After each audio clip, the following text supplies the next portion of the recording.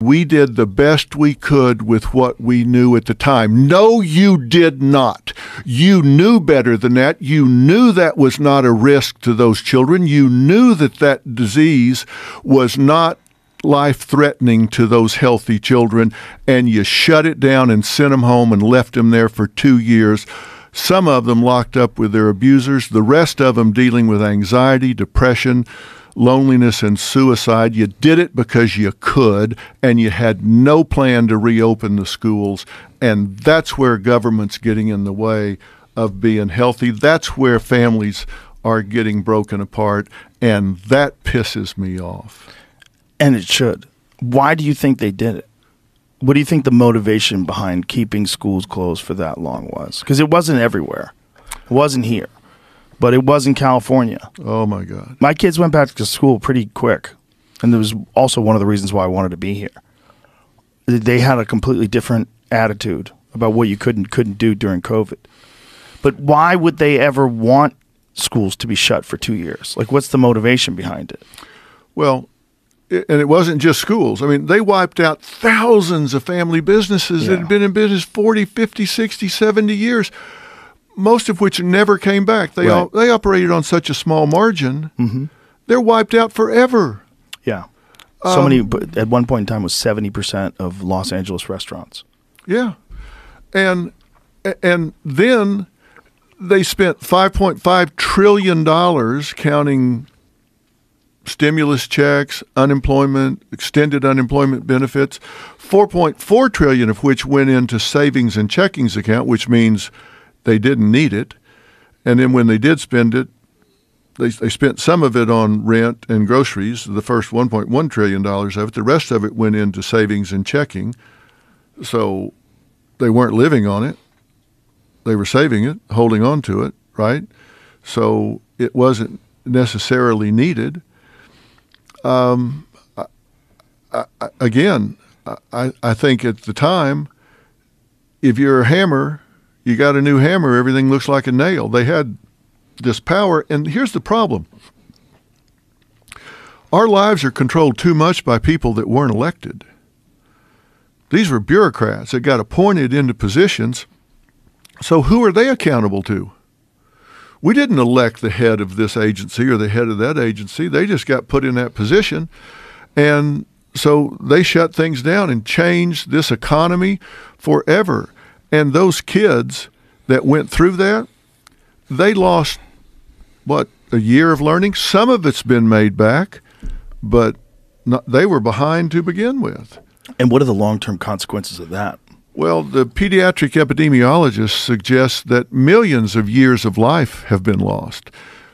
And I'll tell you why. Because they don't close the achievement gap educationally which means they don't do as well in school, so they don't get as good at jobs, and the more blue collar jobs are riskier, you know, because they're working with their hands, they're working in places where they're more inclined to get injured uh, or killed on the job. They have poorer benefits in lesser jobs, so diseases get diagnosed more slowly. Um, and so they get treated uh, later in the disease progression, which means that there's a higher mortality rate. Um, and so that shaves more years, years off, off. And if you've got somewhere between 50 and 55 million kids in the public school system, um, and however many of them were affected by this, uh, do the math. It doesn't take shaving very many years off at the end of the life to.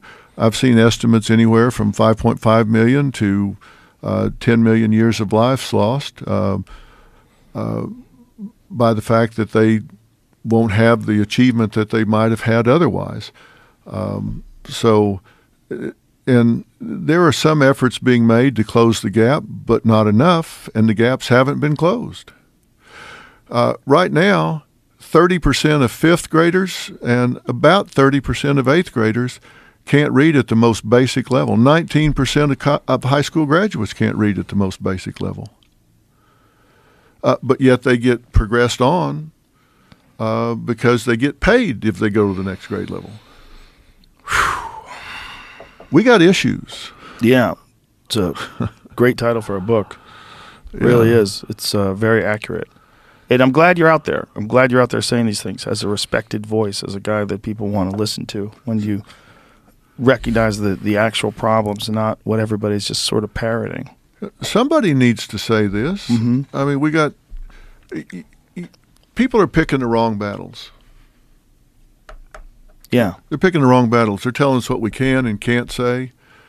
Um, you know, we can't say brown bag lunch anymore. You're not supposed to say that. Um, that's somehow bad news.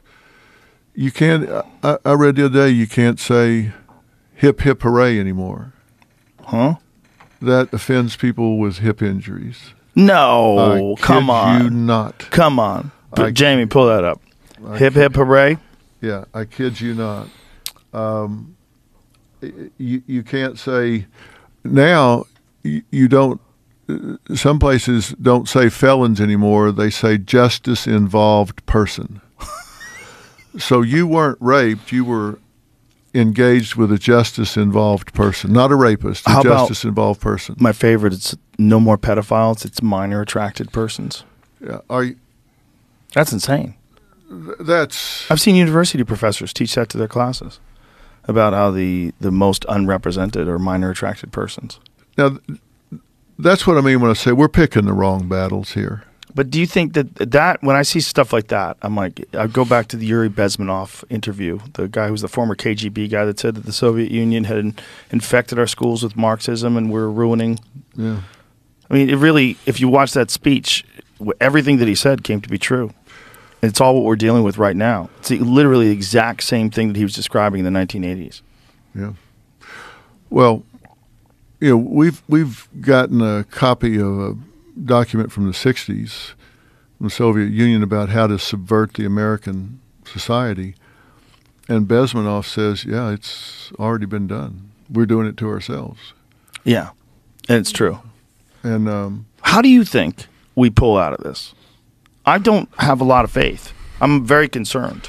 I'm very concerned that it's going, it's progressing in a direction that even if people push back, the the direction is it's go moving so fast with so much momentum, and people are so insane.